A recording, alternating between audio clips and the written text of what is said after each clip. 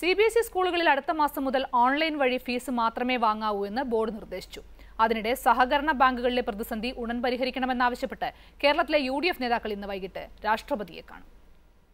Not അസാധുവാക്കിയ സാഹചര്യത്തിലാണ് C B S E affiliate ചെയ്ത സ്കൂളുകൾക്ക് നിർദ്ദേശം നൽകിയിരിക്കുന്നത്. അടുത്ത ക്വാർട്ടർ മുതൽ വിദ്യാർത്ഥികളുടെ ഫീസ് ഓൺലൈൻ വഴി മാത്രമേ സ്വീകരിക്കാവൂ എന്ന് ബോർഡ് സെക്രട്ടറി നിർദ്ദേശം നൽകി. ജീവനക്കാരുടെ ശമ്പളവും ഓൺലൈൻ വഴി മാത്രമായിരിക്കും നൽകുക. കറൻസി ഇല്ലാത്ത ഇടപാടുകൾ കൂടുതലായി പ്രോത്സാഹിപ്പിക്കുമെന്നും സി വ്യക്തമാക്കി.